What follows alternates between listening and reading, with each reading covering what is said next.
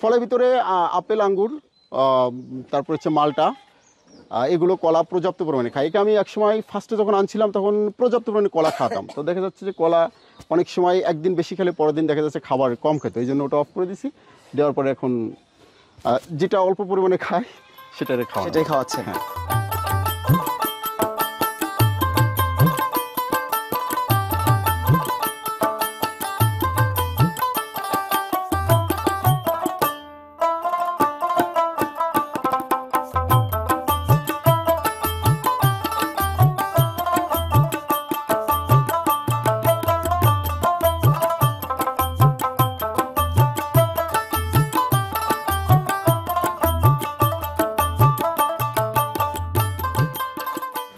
সুপ্রিয় দর্শক, আসসালামু আলাইকুম। আপনাদেরকে স্বাগত জানাচ্ছি নতুন একটি প্রতিবেদনে। দর্শক বন্ধুরা, আজকে আমরা চলে এসেছি যশোর জেলা, অভয়নগর থানা, হেদিয়া গ্রামে। আমরা এই মুহূর্তে আছি একজন প্রান্তিক খামারের বাড়িতে। আপনারা দেখতে পাচ্ছেন আমার পাশে একটি সুবিশাল গরু রয়েছে। এই গরুর মালিক হচ্ছেন অবসরপ্রাপ্ত সার্জেন্ট আমিনুল ইসলাম ভাই, যিনি শখ করে এই গরুটি লালন পালন করেছেন দুই হাজার তেইশ সালের কোম্পানিকে কেন্দ্র করে। এই গরুটির সুন্দর একটি নাম রয়েছে। এই গরুর নাম হচ্ছে রাজা। আমিরুল ইসলাম ভাইয়ের মনে স্বপ্ন ছিল একটি বড় গরু কোরবানিতে লালন পালন করবে। সেই স্বপ্ন পূরণের জন্য তিনি এই গরুটি লালন পালন করেছেন। তিনি এগুলোকে বিশেষ খাবার দিয়ে থাকেন, যেমন ফলের মধ্যে বিভিন্ন প্রকার ফল দিয়ে থাকেন, যেমন, আপেল কমলা, মালটা, আঙ্গুর আরও বিভিন্ন প্রজাতির খাবার রয়েছে, যেগুলো আমরা আজকে আমিরুল ইসলাম ভাইয়ের কাছ থেকে জানার চেষ্টা করব।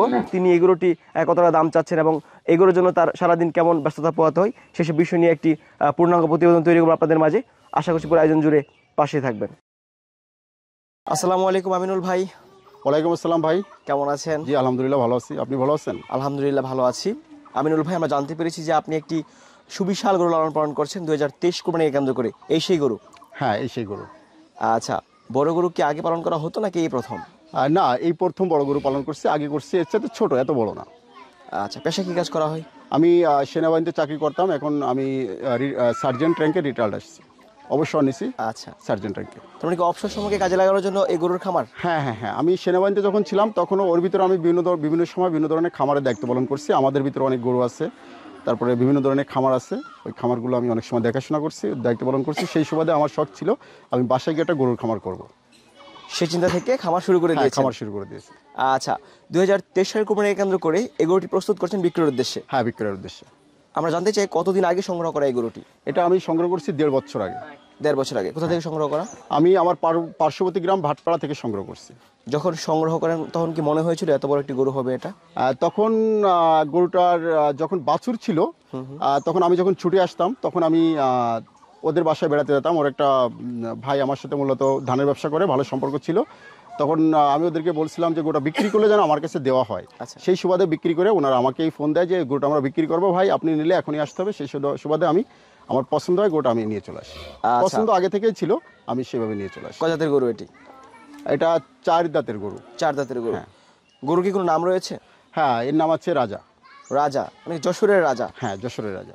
আচ্ছা রাজা নামকরণ করার কারণটা কি? আমি যেখান থেকে কিনি ওরা শখ করে ওদের পালের বাসুর ছিল। ওরা রাজা নাম দিছিল। সেই সুবাদে ওরা আমাকে রিকোয়েস্ট করছিল আমাদের নামটা যেন রেখে দেওয়া হয়। বিক্রি না করা পর্যন্ত আমি সেই সুবাদে রাজা নামটা রেখে দিয়েছি। তারপর আবার নিজের পছন্দের নাম না এটা? হ্যাঁ নিজের পছন্দের নামও ছিল রাজা। আচ্ছা। এখন ওরা যখন ওটাই রাখছে তখন আমি ওটাই রেখে দিছি যে না এটা আমাদের যশোরের রাজা হবে। আচ্ছা আমরা এখন জানতে চাই যে যশোরের বড় গরু রাজা আপনি কীভাবে লালন পালন করছেন?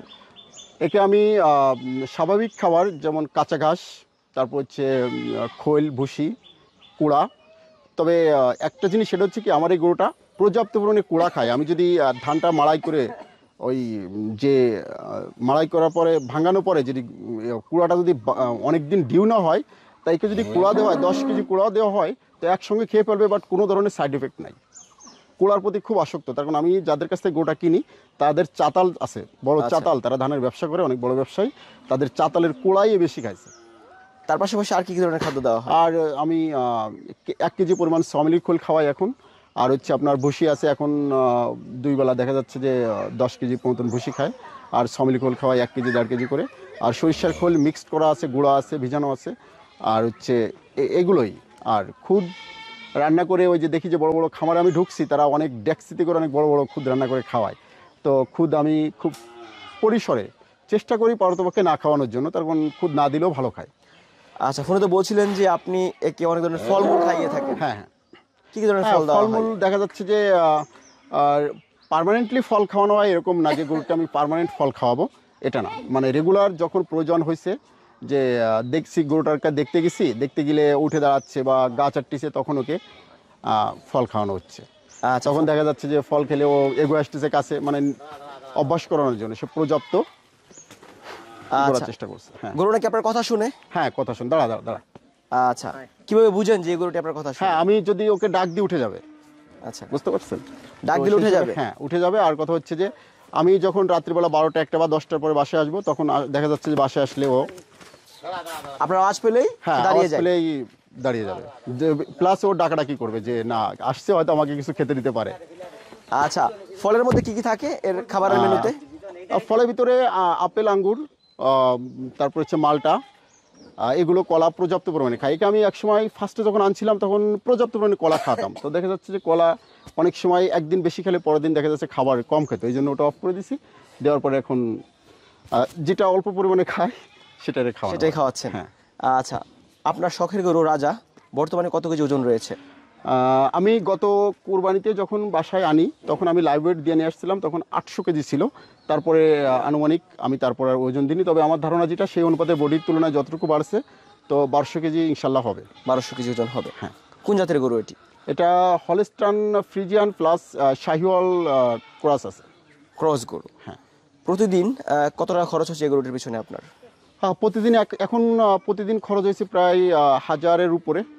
তো 1000 টাকা? হ্যাঁ যে হিসাব নাই যে আমি হিসাব করে এক হাজার টাকা খাওয়াচ্ছি এরকম না। আমার মন চাচ্ছে যেটা খাওয়াতে আমি সেটা খাওয়াচ্ছি। হিসাব ছাড়া একে আমি খাওয়াইছি। শখে পালন করা সেই কারণে পালন করার জন্য হ্যাঁ। শখে পালন করে আমি যখন যেটা মনে করছি যে এটা খাওয়ানো উচিত বা আমার একটু মন চাইছে আমি খাচ্ছি একে খাওয়াই ইনশাল্লাহ আমি খাওয়াইছি।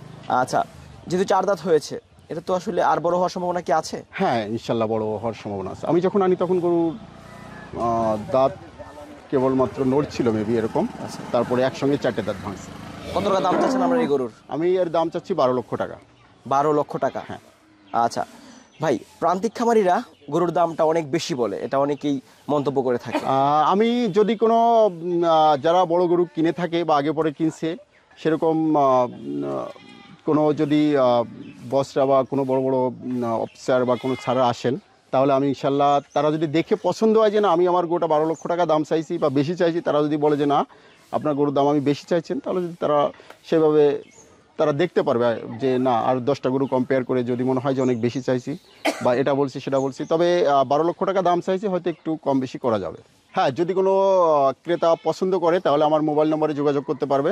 যোগাযোগ করে তারা এসে যদি পছন্দ হয় তাদের যদি লেজ্জ দাম আমি মনে করি যে না তারা লেজ্জ দাম দিচ্ছে তাহলে আমি ইনশাল্লাহ তাদেরকে দিয়ে দেবো। ঠিক আছে ভাই অসংখ্য ধন্যবাদ সময় দেওয়ার জন্য। ভালো থাকবেন আসসালামু আলাইকুম। আচ্ছা ঠিক আছে ভাই আসসালামু আলাইকুম।